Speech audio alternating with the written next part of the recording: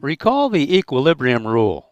When the sum of all the forces acting on an object is zero, no acceleration occurs. But in situations where the sum of the forces acting on an object is not zero, the object will accelerate. This acceleration depends upon the net force and the object's mass as given by Newton's second law.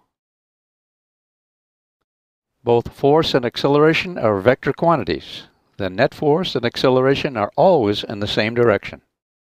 We can write this as F sub net equals ma. When the net force is due to gravity alone, acceleration is g, that of free fall.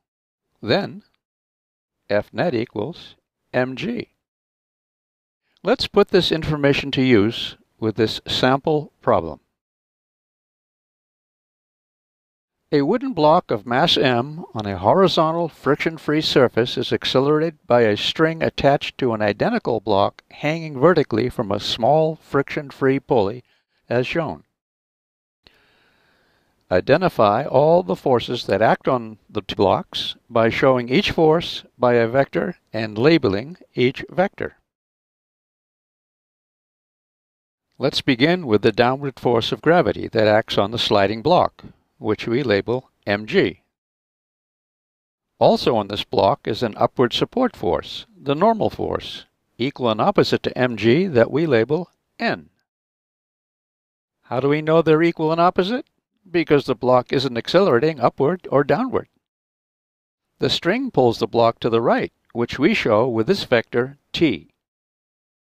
Tension T is the stretching force within the string and it's the force exerted by the end of the string on whatever it's attached to.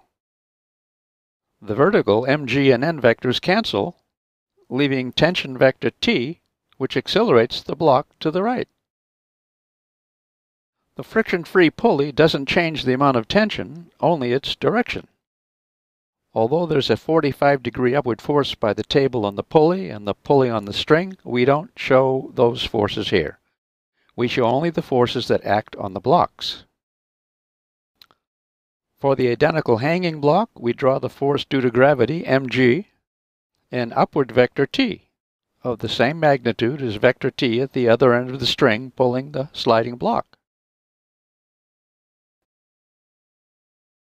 What we show are all the forces that act on the two blocks. Part B. Find the acceleration of the two-block system. We begin with A equals to focus on what we're asked to find. This is our starting point to finding a solution. Since we're looking for the acceleration of the two-block system, let's define the system with this white border. Note that the pair of t vectors are inside the border.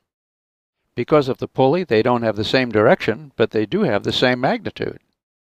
These are effectively internal forces, which, in accord with Newton's third law, always cancel. Internal forces have no effect on the motion of the system. As said earlier, the equal and opposite forces mg and n on the sliding block also cancel. So the only external force that acts to accelerate the two-block system is mg acting on the hanging block. For acceleration of the system, we have where we emphasize our system. And for our two-block system, the mass being accelerated is 2m. And we see that the system accelerates at half g. That's half the acceleration of free fall.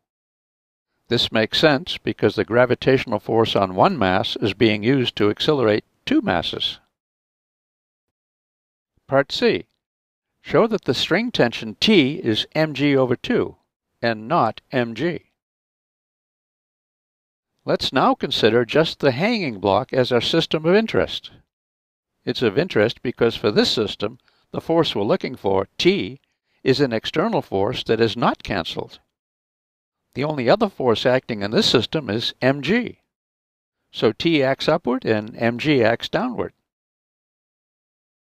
From the sum of the forces equal mass times acceleration for the falling block, we get mg minus t equals ma. and recall that the acceleration is g over 2. And with a bit of algebra, starting by multiplying both sides of the equation by minus 1, we find that the string tension for the two-block system is half the weight of either block. What is interesting in this problem is that the weight of one block accelerates the masses of two blocks. And the tension in the string connecting the blocks is not the weight of either block, but half the weight of either one.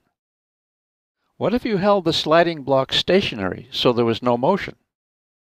then the string tension would equal mg. But if you release your grip and let the blocks accelerate, this tension decreases as we've just seen.